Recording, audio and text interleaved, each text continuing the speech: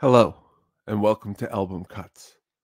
Tonight, we put our focus on the Brothers Johnson, an American funk and R&B band that started in 1975 with brothers George and Louis Johnson, aka Lightning Licks and Thunder Thumbs.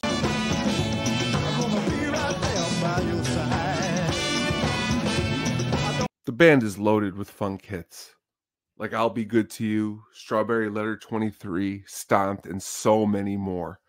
But if you look deeper into their deep cuts off of their albums, you're going to find an amazing, amazing array of awesome sounds, especially from their first three albums. Look out for number one, Right on Time, and Blam.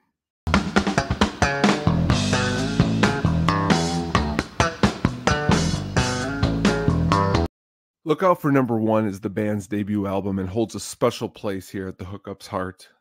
I remember seeing this eight track and wondering on the amazing album cover, who are these awesome fellas?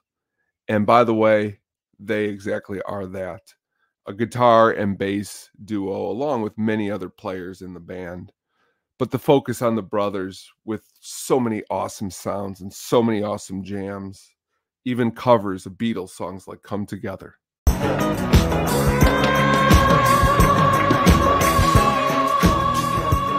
Apart, the brothers were were part of things like Michael Jackson's Thriller, along with lots of solo work.